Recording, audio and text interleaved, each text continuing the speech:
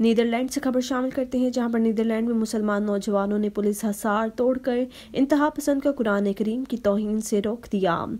दाएँ बाजू के इंतहा पसंद दो अफराद कुरान पाक की तोहिन करना चाहते थे। इस मौका पर मुसलमान नौजवानों ने इंतहा पसंदों की नापाक कोशिश को नाकाम बना दिया, जिसके बाद इंतहा पसंद फरार हो गए।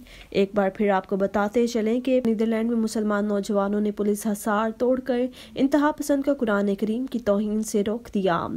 दाएँ बाजू के इंतहा पसंद अफराद कुरान पाक की तोहन करना चाहते थे। इस मौका पर मुसलमान नौजवानों ने इंतहा पसंदों की नापाक कोशिश को नाकाम बना दिया, जिसके बाद इंतहा पसंद फरार हो गए।